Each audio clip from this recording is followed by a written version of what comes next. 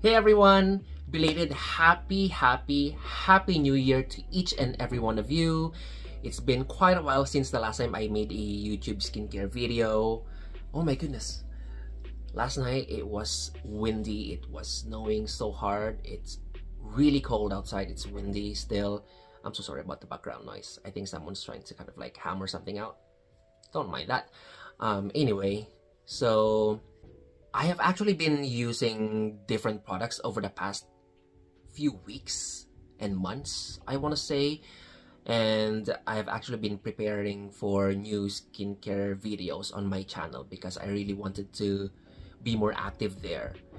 Um, if I haven't introduced myself yet, my name is Joel. I am a Sephora employee. I am a paid services beauty advisor. So what are we talking about for today's video or in today's video, I mean? So we are going to be talking about the INKEY List's Super Solutions 1% Retinol. I think I actually used the product for a month or so, like approximately a month. Let's just say a month.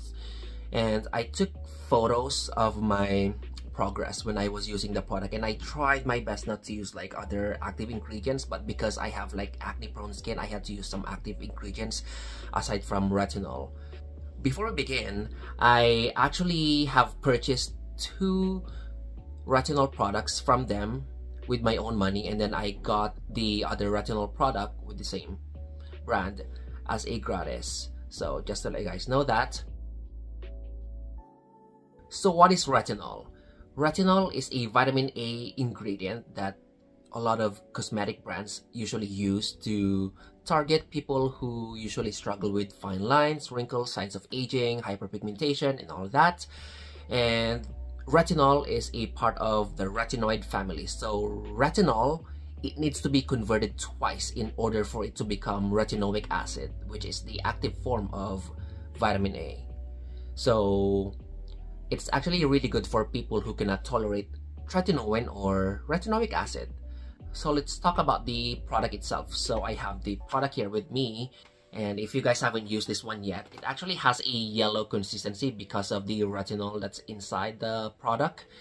And you actually don't need a lot when you are using it. And it actually spreads pretty nicely on the skin. So when you are using it, just make sure to always use sunscreen in the daytime because it's kind of like no use if you are not using a sunscreen because you're trying to kind of like repair something but if you're trying to expose your skin from the UV rays then you are just damaging your skin even further right?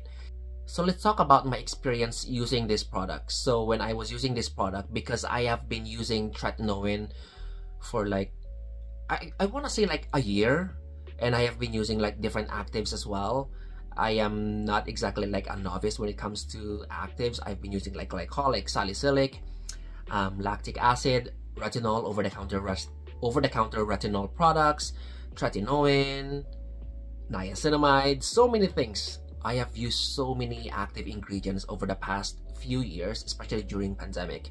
And when I was using this one, at first I didn't really feel any um, warmth or any tingling sensation when I was using it, but I actually did notice a little bit of tingling like after I was almost done trying to finish up the product. And it's a little bizarre to be honest with you because I feel like I should have gotten the tingling sensation during the beginning, not like after.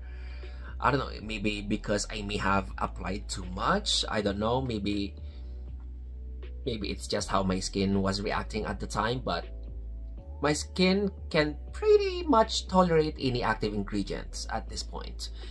And uh, when I was using this one, I was only using this at night as much as I possibly can. I think I may have used this like during daytime, I think once because I may have forgotten to apply the retinol product at night. So let's talk about the results after using this product for about a month. So after using this one, I actually did notice that my skin's texture has definitely improved. I also noticed that my skin, when I had my post-acne marks, they definitely faded, like visibly faded.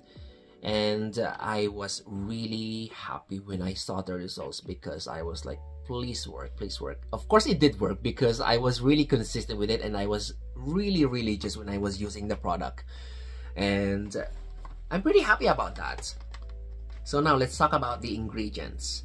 So the first ingredient is water glycerin which is a humectant. It makes your skin hydrated. It also has apricot kernel oil which is an emollient. It helps with hydrating the skin. It also helps make sure that your skin is protected from the environmental stressors or aggressors, you know, from pollution and, from day-to-day -day life. And the same and the same goes for avocado oil. It's rich in fatty acids as well, like omega-3, omega-6, I believe linoleic acid and other fatty acids as well. And it also has some fatty alcohol like cetyl alcohol and it also has squalane which is a hydrating emollient and antioxidant and of course it contains retinol so retinol as I mentioned I may have mentioned this one already in the beginning of the video um, retinol helps with signs of aging so it helps with fine lines wrinkles hyperpigmentation acne scars and it also helps with acne. It depends on what acne you have but generally speaking it does help with acne as well. Um, it also has phospholipids. It has vitamin E, an antioxidant, soybean oil, another emollient, and another soybean sterols, which I believe is um, an antioxidant and a brightening ingredient as well. So the ingredients of this product is actually pretty good because it has a lot of ingredients that's going to help with signs of aging and also soothing the skin. It helps with hydrating the skin at the same time. So it's a pretty good product. And that's pretty much it, you guys. I want to know, have you guys tried this product before? If you guys have, please let me know in the comment section below. And if you haven't, you guys should definitely try this one out. But if you are planning to try this one out, be very careful when you're using this one because if you're a novice or if you are new to retinol, I want you to start very, very slowly when you're using it because you don't want to get any irritation or anything like that. So you start very slowly. Use it like once a week or do a short skin contact therapy, which is leaving it for 30 minutes or an hour and then rinse it off just so your skin can become acclimated to it. And as I mentioned, always, always use sunscreen after just to protect your skin from all the benefits that you're getting from your retinol. And yeah, thank you so much guys for watching and I will see you guys in the next video.